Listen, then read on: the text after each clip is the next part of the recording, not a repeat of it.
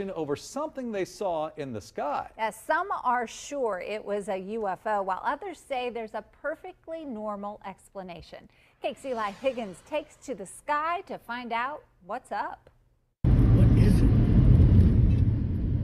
Get out of the trees. Hundreds of Wichita residents shocked by this sight Thursday, saying they saw what appeared to be a UFO. Videos like this one recorded by Wichita resident Mike Marlar quickly circling social media. I'm driving back to work, coming home from lunch, and I noticed uh, something in the sky really bright. It was surprising because I mean we live, in Wichita, we see airplanes all the time. We're right by the airport, um, but it was definitely different. After receiving calls and messages by even more people wondering what it was, we decided to go where we would have the best vantage point to investigate the sky.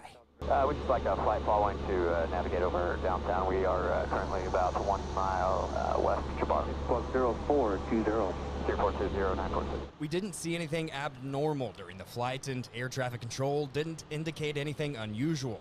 Back on the ground, social media continued going crazy. Some people saying it was a military jet, some insisting it was a UFO, but others posting videos like this, saying it was actually an airplane towing a giant Arby's banner. But people like Marlar who saw it aren't convinced. Logic would say that you know, and the rumors that it was an Arby's advertisement plane, which you know, logic would point to that. Uh, but it was it was really fast moving. It was really bright, and then it, it just